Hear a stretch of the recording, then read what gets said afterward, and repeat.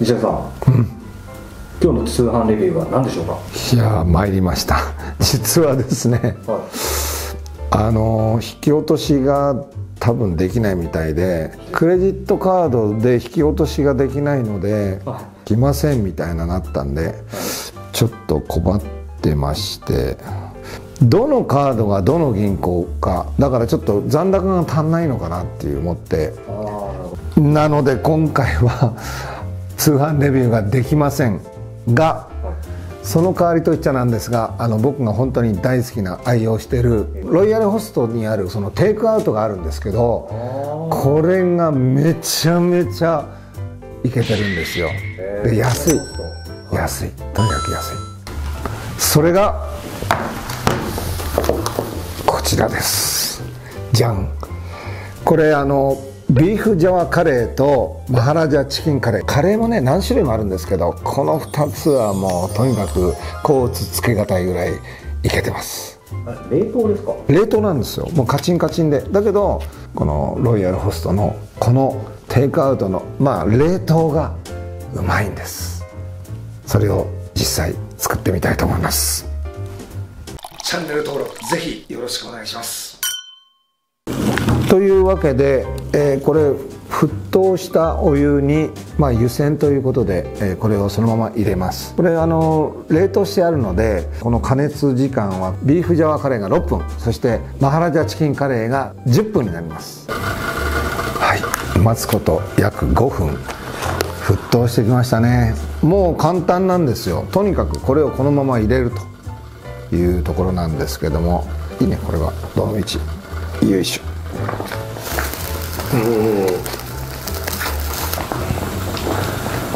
この袋がこういうところにくっつくと結構溶けることがあるのでそれだけ注意してくださいと。いい感じ。うおっつ。やっぱり最近は便利ですよねだけど。このロイヤルデリでは、まあ、こう冷凍庫みたいなのにこう入ってるんですけどやっぱりスープがあったりそれからまあドリアとかこうなんていうのソースみたいになってたりこれあのパスタでも使えるようなやつ。いわゆるクリーム系とか、えートマトソース系とかそういうのがあったりちょっとこれはねあの相当いけてるぞという感じですチャンネル登録ぜひよろしくお願いします。これね悪口ばっかり言ってんだよねこれ。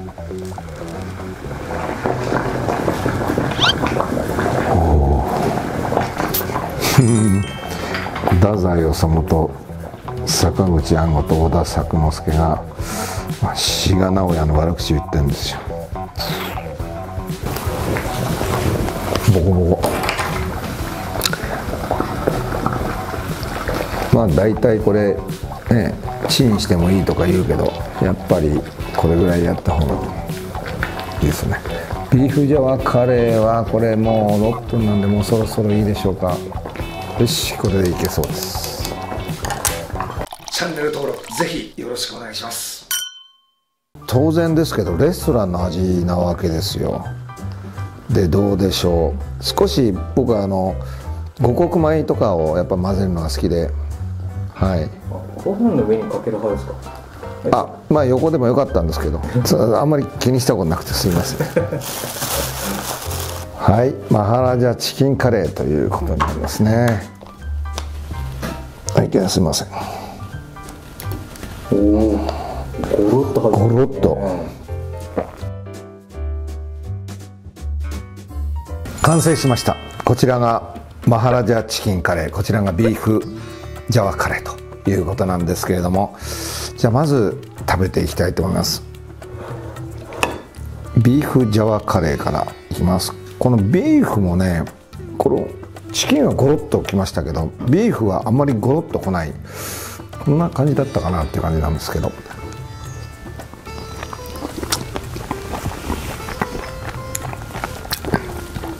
あ玉ねぎの甘み。最初ですね。感じて。その後からそのビーフとかそのこってりしたやっぱり野菜の全ての香りと甘みがぐわっと口の中きます。そしてとにかく最初言ったように最初の甘さから始まってそしてコクがビーフのコク、えー、その味が出てきて最後にスパイスがドーッとこうなんか口の中攻めてくるみたいな。うん。そんなに辛くないってことですか？そんなに辛くないですね。僕はねでもうちのねカレーって悲惨なんですよ。とにかく奥さんも子供ももう辛いのがダメなんでもう本当に甘いカレーしか出てこないのでで僕は実はこういうふうに自分は自分で作ってるっていうかあの冷凍のやつで食べさせてもらってるんですけどうん。これはこれはでもいけますね。これはみんなにあの日本人だったら絶対好きな感じです。でちょっとココナッツなんかの風味も感じます。でそれが甘さになってるのあの玉ねぎ以外でねなってるのかもしれないです。でも本当にいけます。日本人向けのカレーってことですね。ですね。チャンネル登録ぜひよろしくお願いします。この特に僕はあのロイヤルデリは本当に感心しちゃいますけどレベルが高いです。では次。これマハラジャまあインドですね。マハラジャチキンカレーをいってみたいと思います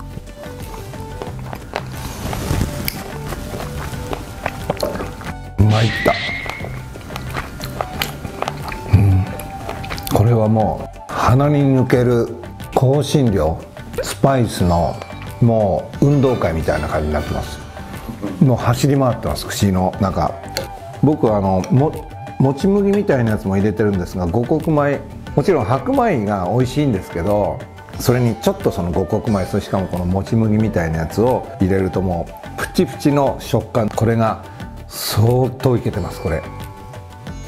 これこれはちょっと日本人に合わせてないですねこちらは、うわちょっと汗が出てきました。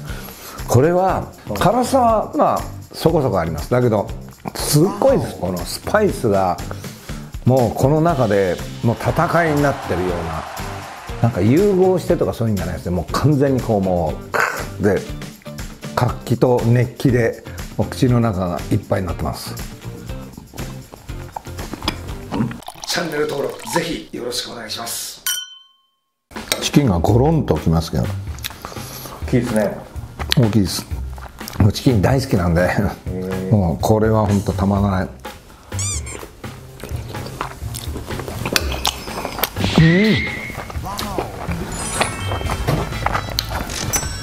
うん。まあ言ってみればまあ香辛料ですけどもスパイスのその融合っていうんですかこの相性がめちゃくちゃいいような気がします。チキンはあの柔らかいんですけど程よくこの噛み応えがあって張りがありますこのチキン。なかなかいいですね。うん。これはタイプですね。うん。なこっちから一方的にタイプって言ってるだけで。向こうにしてみればもうツンっていう感じでしょうけどね。ツンツンデレですけど。うん。こうやって食べ比べてみると一つだけ分かりましたなんとですねこれがやっぱりちょっとほらタイ料理とか何ベトナム料理とかあるじゃないですか。南アジアの味がいわゆるアジアンフード的な感じになってます。でジャワこれねビーフジャワカレーはこれはちょっと日本人が好むようなアレンジになってんのかな僕ジャワとか行ったことないんで CM とかでね よく聞きますけど。ジャワカレーみたいなやつですね。チャンネル登録ぜひよろしくお願いします。これそもそもなんですけど、いつこれを見つけたんですか？あ見つけたのはもう1年ぐらい前ですかねお店によっていくつもありますけどそのなんか冷凍庫みたいなのが入ると入り口にあるんですけどそこのスープを1個オニオングラタンスープだったっけなそれを1個ちょっと買ってみたんですまあこれはそんな間違いないだろうと思って買ってみたらめちゃめちゃレベルの高いのにびっくりしてそして他のスープ行ってで今カレーに行ってるとこですけど。このカレーどんな方におすすめしたいですか？いやーこれはだからもう子供たちもう小さい子供を除いたら絶対 OK だしタイ料理とかベトナム料理とか女性ってどちらかっていうと好きじゃないですか。いわゆるアジアンテイストアジアンフードが。そういう人はもう絶対これはいいですね。すみれにもおすすめですけど女性はぜひぜひあのトライしてみてください。チャンネル登録ぜひよろしくお願いします。ロイヤルホストの冷凍カレーこちら評価をつけていただきたいと思います。はい。10点満点中。10点満点中。何点でしょうか？9.75 9.75にしたのは実は僕的にはこっちはね10点です。あのマハラジャチキンカレーが10点です。こちらが9.5ですかね。えー、まああのー、要するにあのビーフジャワカレーはまあ皆さんが食べた中でも本当にこう納得いくだけの美味しいカレーだけどまあ食べたことある味なわけですよ、ところがこれね普通そんな名前ないだろうっていうぐらいのはマハラジャだからまあインドなんですけどマハラジャチキンカレーこれはねもう一回言います。絶対素人じゃ作れない味です。なのでそういった意味でまああのびっくりするかもしれないけどもめちゃめちゃこれはもう10点で文句のつけようがありません。なるほど、一応聞きますけど企業案件ではないですよね。いやいやもうお願いしますこれはねもうロイヤルホストから1円も頂いてません。もうあのこれはまあ僕の行為っていうんじゃなくてこれはもう皆さんにちょっとお伝えしたいと。まあ冷凍でねいっぱい作られてるけどこれね本当にねあのプロが作ってるのでそんなに大量生産できないはずです。でも安いんだよね。ありがたいですよね。本当教えたくない。はい。テイクアウト。